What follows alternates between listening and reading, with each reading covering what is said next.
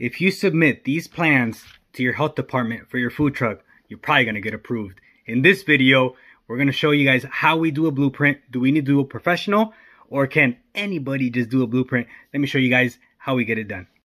Welcome to the DIY series, How to Build Your Food Truck. I'm Frank Baltierrez, and what we've taken is an empty 7x16 trailer, and we're converting it into a mobile kitchen on wheels. On the past videos, we've started uh, everything from scratch. So if you're looking at, to get into the mobile food business and build one yourself, or just get ideas on how can I improve the one that I have now, then the previous videos are probably something you should check out. If you're new to the channel, that's exactly what we're working on. Right now, we are on the plan reviews. I received a question on do I submit, how do I submit my plans? Do I have to get them professionally done or can I do it myself? But first, you have to check with your health department and see what they want. So I printed off our health department here in DuPage County. I'll show you guys exactly what they require.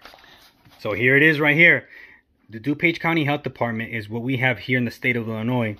And what they require, we're just going to cover this paper really quick, is they want a full set of plans. If you guys can see here, full set of plans, the equipment list, including method of installation, the menu, drawing of the photo, uh, what is it, and a plan review fee of $200.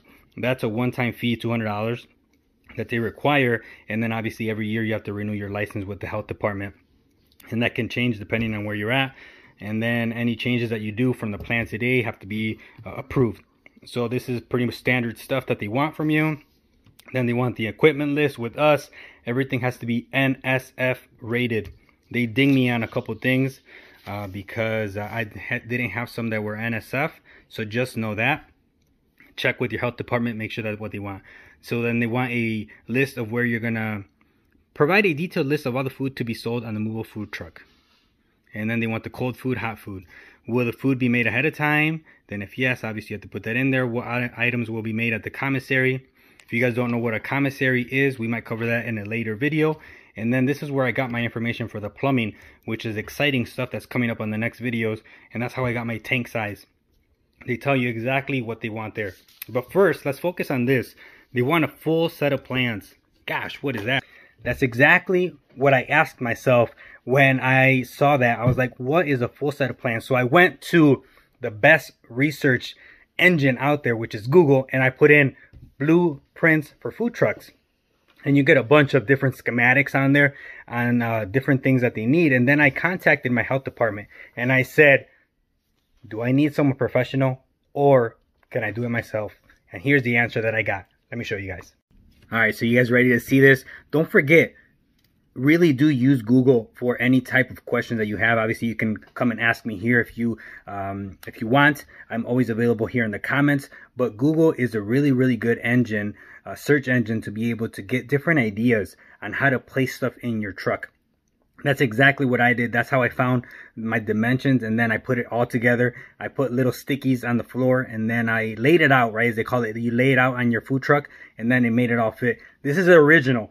This is the most professional blueprint I have seen in my life. This is the original one that we submitted and then we had to do a couple changes. But let me show you guys the original and then we're going to draw one here live in person with you guys so you guys can see how hard, how easy it is to do.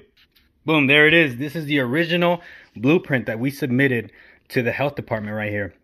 7 by 16 trailer.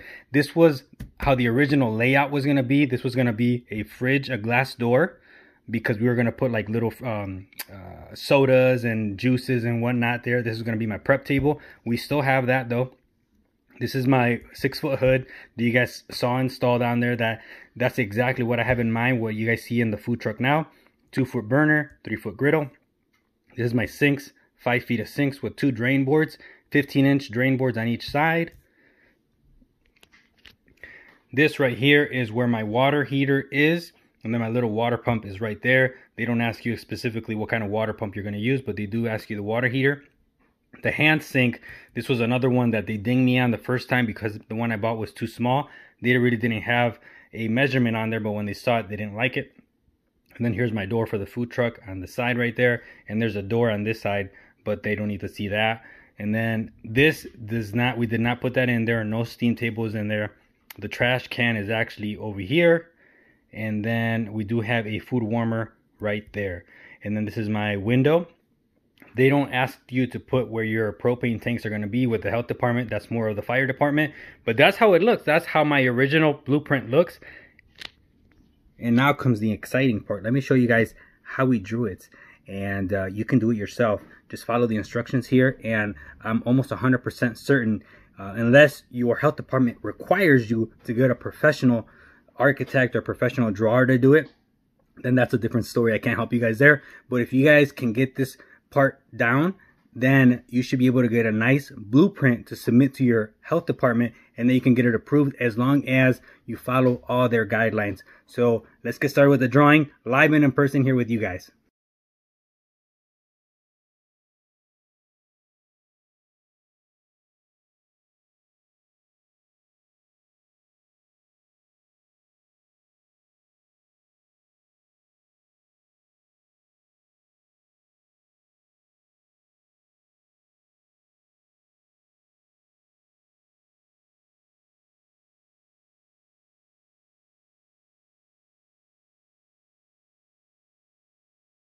So the hands that you guys saw in action there were the hands of my 14 year old daughter. She actually drew the plans that we submitted to the health department. It was my 14 year old daughter that, that drew those. And I think she did a really, really good job. We made her do it one more time. That way uh, you guys can get the full action of exactly how we did it. And that pretty much can answer your question of do I need it professionally done or can anybody do it? My 14 year old daughter drew, this was the original the one that got submitted, and this is exactly how my food truck looks now. A couple minor changes, like I mentioned to you guys. Um, obviously, I have a little trash can there. The steam table right there is removed, and now we have it right over here on this table. It's an NSF rated uh, food warmer. And then we have the griddles, those don't change. We have the sinks, that doesn't change. Fire suppression system. Uh, actually, it went just a little bit right on top of underneath the sink there. Then we have a little trash can right there. Water heater stayed the same. Hand sink stayed the same. It was just a different dimension. But pretty much everything else was pretty standard. They they told me what they didn't want on this food truck from the health department when they did the plan review. That's why they do the plan review because they tell you, you know what, fix this, fix that. We like this, we don't like that. And this is what we came up with right here. So with that, that answers the question of do I need to have my plans drawn professionally or can anybody do them for me? Uh, for this one, like I mentioned, my 14 year old daughter drew mine that we submitted, but check with your health department because if they want something, like I mentioned, professionally done and submitted, then that's the route you're gonna have to take. There's nothing that we can really do about that. But if they don't ask for specifics, then you guys can do exactly what we did here in a 29 minute hyperlapse, 29 second hyperlapse. is exactly how we got it done. So with that, Frank Baltierrez with the DIY series, how to build your food truck. We'll see you on the next videos where we go more into depth on the plumbing, the gas, and then we're going to install all the prep tables and the stainless steel tables on the food truck. So with that, we're out of here.